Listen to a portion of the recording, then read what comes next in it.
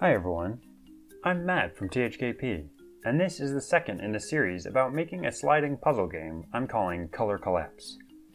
At the end of our last video, we had just added the ability to freely drag a single box around the grid.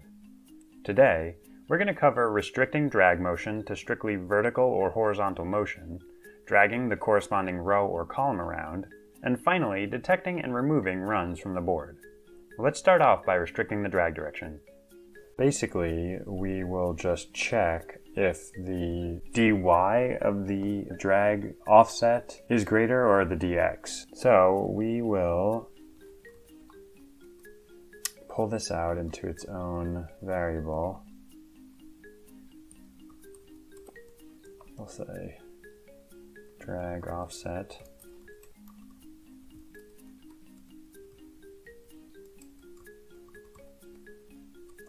And we'll just create a new offset here out of the drag offsets dx. And then we don't want the y coordinate. And then we'll just do the opposite over in the else.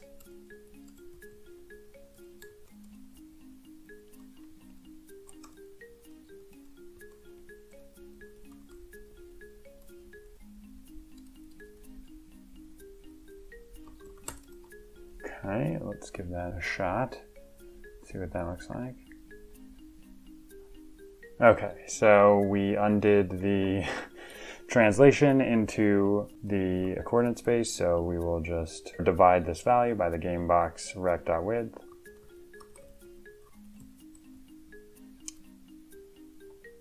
Actually, we'll divide this by game box rect.height.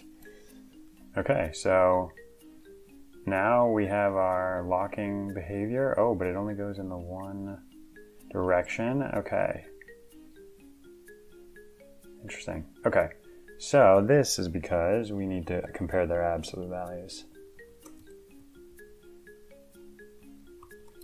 And now that we have this a snapping behavior, I think we can start to try to move the row and column along with our tab box. So we're going to add a method which allows us to get the corresponding row provided a box and then another one that uh, gives us the column provided a box.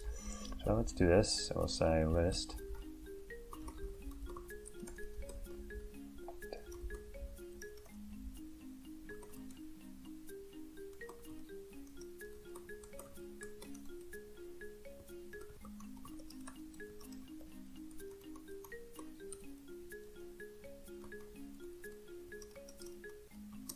Okay, so we are iterating over all the boxes.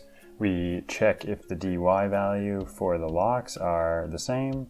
And if so, we add that rowmate candidate into the rowmates. And the get column mates for box is going to be almost exactly the same.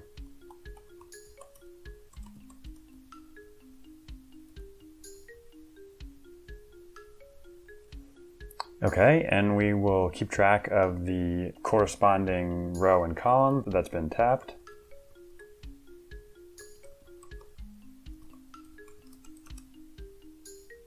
And we will keep track of that in our on pan start.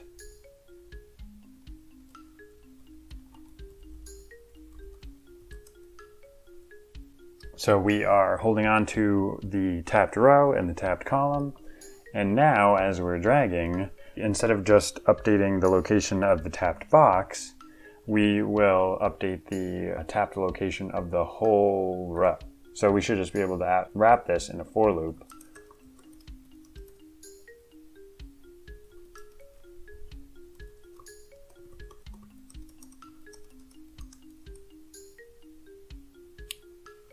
Okay, so now we will move the whole row when we are moving this. So I'll just refresh this.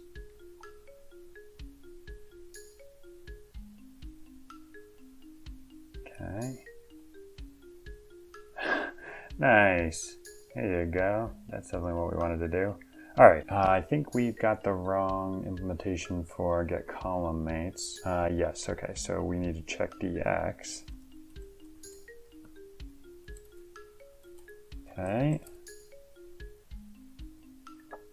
I don't know. Could be could be an interesting mechanism. We could change our game. You you slide them orthogonally. Hmm, that would be interesting. All right, not the point of this exercise though. So now we can slide. We can go like this, and so now we are getting the sliding behavior. Although when we let go, we see that it's, it's we're allowed to just be completely misaligned with the grid, which makes a mess fairly quickly out of our game board. So we're going to align them all to this 0.5 grid. So let's create a new method to snap our boxes.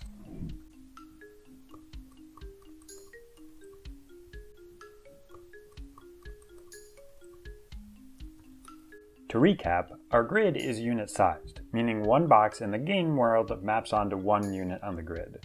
And box centers fall on half units, for example 0.5, 1.5, 2.5, etc. The way our snapping algorithm is going to work is we will subtract the box's location by 0.5 in both directions to align their locations to integer values, then we'll round to remove any small differences that the user may have created when they were dragging, and finally, we're going to add back the 0.5 in both directions to the box's location to make sure that they're in the correct position again. So let's do that. So we will say, okay, so this should be everything we need to snap our boxes. And so this is a good time as any to do our cleanup from the other things. So we will snap the boxes and then we'll just iterate over all of the boxes and just like update the start location to their location because we're done with that particular move.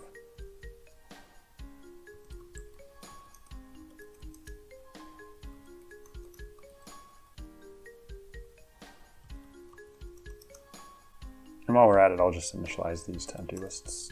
Just feel like I like the idea that there there's already a valid list.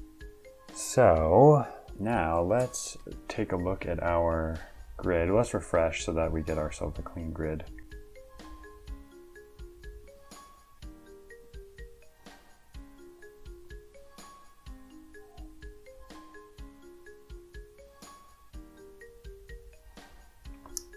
Okay, I think we'll need to wrap this in a set state.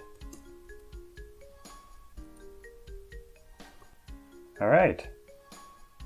Cool, cool. All right, so now we have our core mechanic so the user can drag the boxes around. Okay, so now we are snapping our boxes at the end of the user's drag. And once we've snapped the boxes, we should be ready to remove any streaks of three that we have in either our rows or our columns. So I'm going to make a function called remove contiguous and we'll add it up above. And actually, let's get this app out of here. We shouldn't need that for a little bit.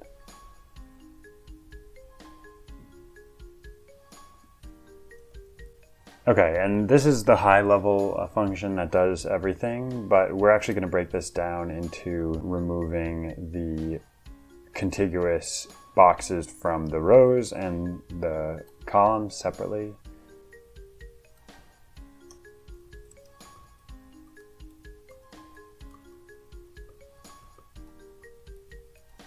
Okay, and we're going to keep track of the boxes that we want to remove by creating a set.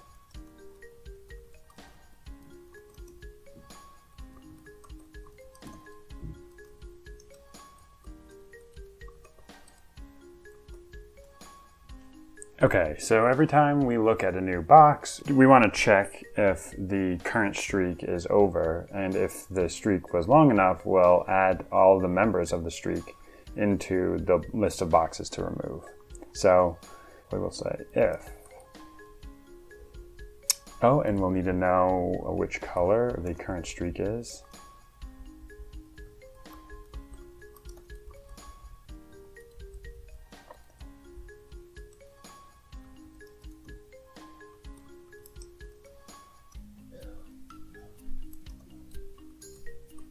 Before we keep track of the new streak, if the current streak dot length is greater than or equal to 3, we will say boxes to remove Okay, and then now at the end we will say boxes dot remove where. Okay, so just to walk through this, so we are provided a list of rows or columns. We iterate through the list of rows or columns.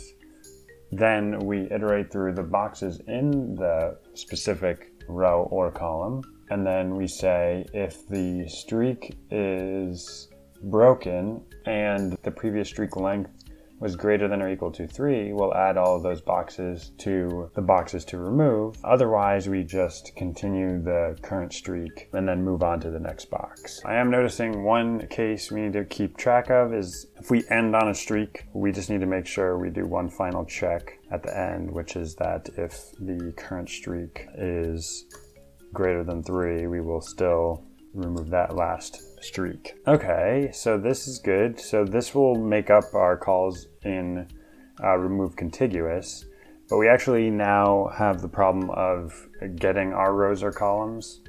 Our game board is just a list of boxes, so we will need to add a new function, get rows, get columns, that will allow us to get those. Let's create a function that returns a list of list of game boxes.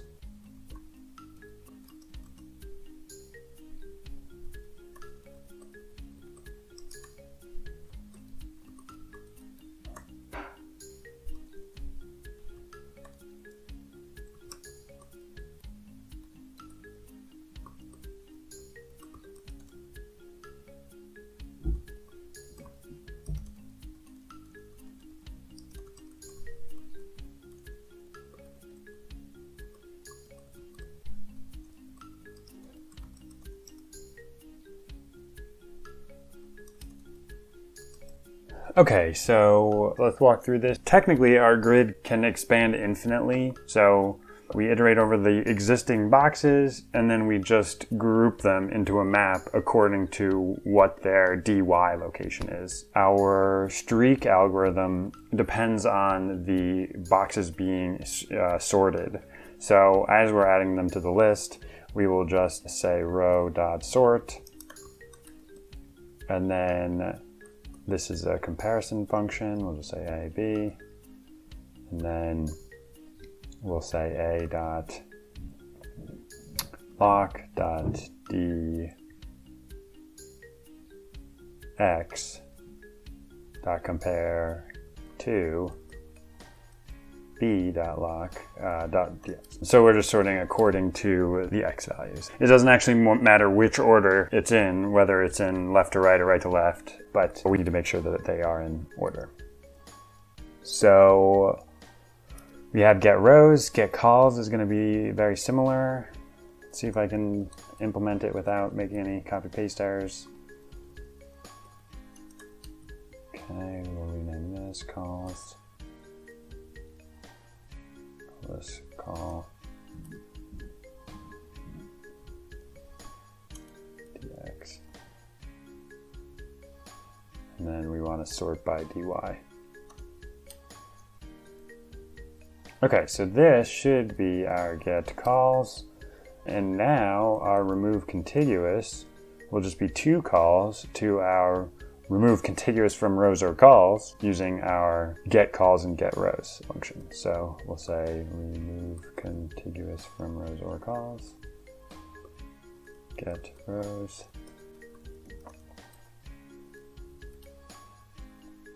Okay, so this was this was kind of a bunch of, of coding. I typically prefer to code in smaller chunks, but sometimes, you know, sometimes that's what it takes. So we will return these. Why we get, we're getting the blue underline. Okay, and we are calling remove contiguous. We in remove contiguous, we call remove contiguous from rows or calls. We call it on rows, we call it on calls. And then in here, creating our boxes to remove.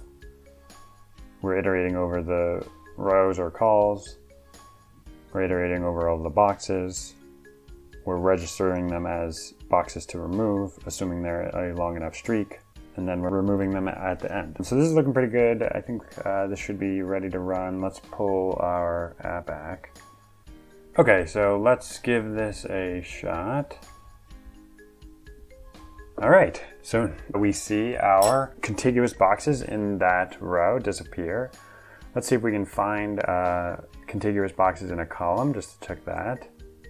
All right, and those disappear too. So we have managed to get our contiguous boxes disappearing. So this looks like it's working pretty well, but we actually have an issue with this where it will not take into account gaps. So let's say we've got the red, red, gap, red, it will still consider that a, a streak and then it'll remove that. But as far as I'm concerned, that shouldn't be considered a streak. So we will just add a little bit more code to our remove contiguous from rows or calls just to make sure that we're not removing streaks that uh, include a gap. So we will go back up here and so this is where we're determining whether or not the streak is continuing. And the only thing we're looking at is if the streak is not equal to the box color. But we also will need to keep track of one other piece of data. We'll say lock offset. And then we'll start to maintain this.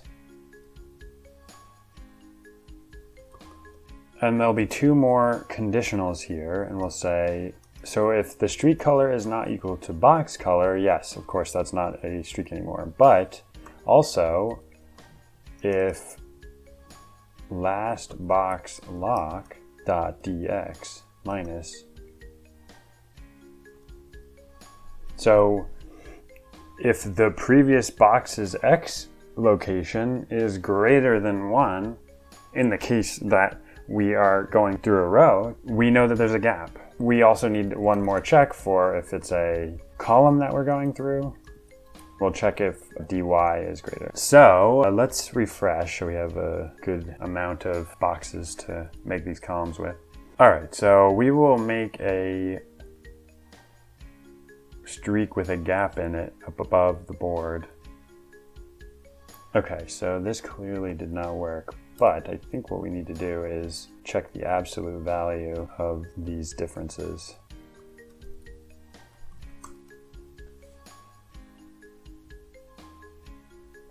Okay, and we, we should be able to, I think those were legitimate. Okay, so we have fixed the bugs. These three greens are no longer treated as a contiguous region. So that should be it for removing contiguous colors. But if you recall, in the original demo, we had this behavior where the boxes would tend to kind of gravitate towards the middle. But that's going to be the topic for our next video. I hope you join us for the next step in our color collapse journey. Thanks for checking out this tutorial, and keep an eye out for future videos from THKP. If you found this useful, give us a thumbs up, and if you're interested in seeing more, don't hesitate to subscribe.